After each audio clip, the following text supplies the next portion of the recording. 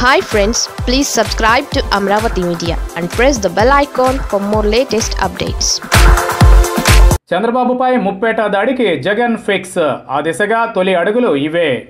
ఇప్పటిదాకా తనకు ప్రత్యర్థిగా వ్యవహరించే కమ్మ తెలుగుదేశం సెక్షన్ను అష్టదిగ్బంధనం చేస్తున్న జగన్ ఇక తదుపరి అడుగులు ఏకంగా చంద్రబాబునే సిబిఐ వైపు ఫిక్స్ చేసే దిశగా పడుతున్నాయా?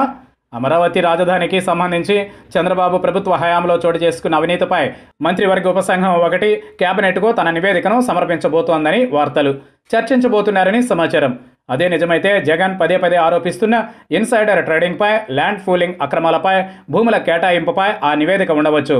అంటే అప్పటి మంత్రి నారాయణ ప్లస్ చంద్రబాబును ఇరికించే ఆలోచన ఉంటుంది.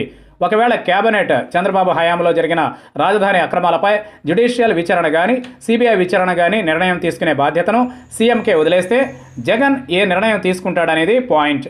నిజానికి కేబినెట్ మీటింగ్ వైజాగ్లో పెట్టాలి. కానీ అమరావతి రైతులు ఏ జగను దమ్ముంటే ఇక్కడే కేబినెట్ మీటింగ్ పెట్టు అని సవాల్ విసిరారు కదా. సో ఇక్కడే పెట్టేశారు. భారీగా పోలీస్ బలగాలు మోహరించాయి. దాదాపు ప్రతి ప్రతిపక్షం అమరావతి నుంచి రాజధానిని మార్చొద్దని డిమాండ్లు చేస్తూ రాజధాని రైతులకు సంఘీభావం ప్రకటిస్తున్నాయి. ఆందోళనలు జరుగుతున్నాయి. ఇంకా దీనిపై తాత్సారం అవసరం లేదనేది జగన్ ఆలోచన.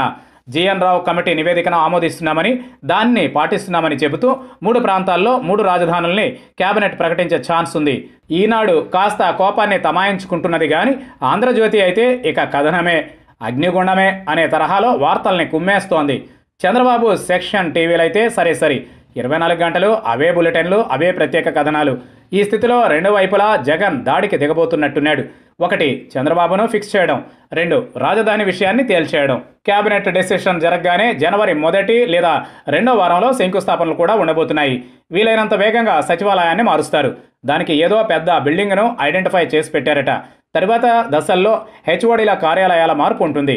ఉగాది నాటికి యాక్టివిటీ వైజాగ్ నుంచి ప్రారంభించి వీలైనంత త్వరగా బిల్డింగ్స్ పూర్తి చేసేసి ఇక దాన్ని ఎవరూ కదల్చలేకుండా ఫిక్స్ చేయాలని జగన్ ప్లాన్. హైకోర్టు తరలింపుపై సుప్రీంకోర్టు హైకోర్టు నిర్ణయాలు కూడా అవసరం కాబట్టి అది కాస్త లేట్ అయ్యే ఛాన్స్ ఉంది.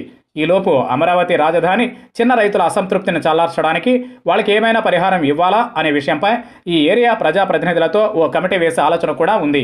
ఇక చంద్రబాబు సంగతికి వస్తే తనే మొన్న సవాల్ విసిరాడు. జ్యుడిషియల్ విచారణకు నేను రెడీ అని సిబిఐ కేసులకు సిబిఐ కేసులే ప్రతీకారం అనుకుంటే గనుక జగన్ ఈ అవినీతిపై సిబిఐ విచారణకే మొగ్గే అవకాశం ఉంది. కానీ చంద్రబాబును విచారించేందుకు ప్రస్తుతం సిబిఐ దగ్గర సరిపడా సిబ్బంది ఉన్నారో లేదో అమిత్ షా చెప్పాల్సి ఉంటుంది. రాష్ట్ర ప్రభుత్వం కోరితే మాదేం పోయింది అంటాడా? చంద్రబాబుకు స్నేహహస్తం అందిస్తాడా? జగన్ ఆ ఛాన్స్ను వదిలేయకూడదని అనుకుంటే ముందుగా తనే సిఐడి లేదా ఏసీబీ విచారణకు ఆదేశిస్తాడా?